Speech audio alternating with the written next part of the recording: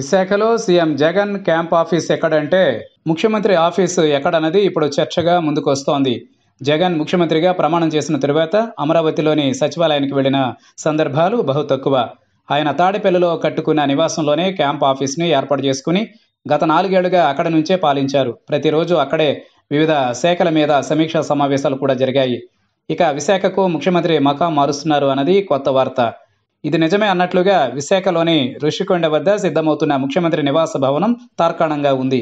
చకచకా సాగుతున్న భవన నిర్మాణంతో ఇక ముఖ్యమంత్రి విశాఖకు తరలి రావడం తథ్యమని అంతా భావిస్తున్నారు. విశాఖలో ముఖ్యమంత్రి నివాసానికి అద్భుతంగా భవనం తయారవుతోంది. అదే సమయంలో సీఎం క్యాంప్ ఆఫీస్కు భవనం ఎక్కడ అంటే దానికి కూడా జవాబు ఉంది. విశాఖ ఎంపీ ఎంవివి సత్యనారాయణకు చెందిన మరో అద్భుతమైన భవనంలో సీఎం క్యాంప్ ఆఫీస్ను ఏర్పాటు చేస్తారని ప్రచారం గట్టిగా సాగుతోంది.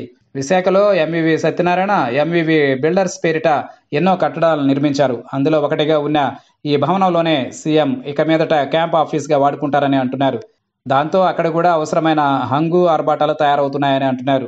దీంతో ఇప్పుడు విశాఖ ఎంపీ బిల్డింగ్స్ మీద అందరి ఫోకస్ పడింది. సీఎం క్యాంప్ ఆఫీస్ అంటే ఏపీ పాలన అంతా అక్కడ నుంచే సాగుతుంది. దాంతో ఒక విధంగా టెక్నికల్గా చెప్పుకుంటే రాజధానిగా విశాఖ ఉంటే హాట్స్పాట్గా సీఎం క్యాంప్ ఆఫీస్ ఉంటుంది. అలాంటి ఆఫీస్ లొకేట్ అయి ఉన్న బిల్డింగ్కే రాజముద్ర రాజ మర్యాదలు దక్కుతాయి. అలా కనుక చూసుకుంటే విశాఖ ఎంపీ లక్కీ అని అంటున్నారు. ఆయన జగన్కి అత్యంత సన్నిహితులు అన్నది తెలిసిందే.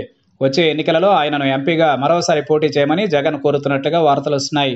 అయితే ఎంపీకి మాత్రం ఈసారి అసెంబ్లీకే పోటీ చేయాలని ఉందని అంటున్నారు. దాంతో ఏకంగా ఎంపీ బిల్డింగ్లోనే సీఎం క్యాంప్ ఆఫీస్ ఉంటుందని అంటున్నారు. కాబట్టి రానున్న రోజుల్లో ఎంపీ అసెంబ్లీ కోరిక కూడా తీరే అవకాశం ఉందని అంటున్నారు. ఏది ఏమైనా జగన్ విశాఖ మకాం గురించి రోజుకొక న్యూస్ తెలుస్తోంది. ఇందులో నిజానిజాలు పక్కన పెడితే భారీ ఎత్తున ప్రచారం మాత్రం జరుగుతోంది. అన్నట్లు సీఎం జగన్ నివాసం ఉండే ప్రాంతం భీమిలి నియోజకవర్గం పరిధిలోకి వస్తుందని అంటున్నారు. భీమిలి టీడీపీకి ఒకప్పుడు కంచుకోట ఇప్పుడు వైసీపీ ఆ సీటుని గెలుచుకుంది. మరి వచ్చే ఎన్నికలలో కూడా గెలిచేందుకు సీఎం విశాఖ మకాం ఉపయోగపడుతుందని అంటున్నారు.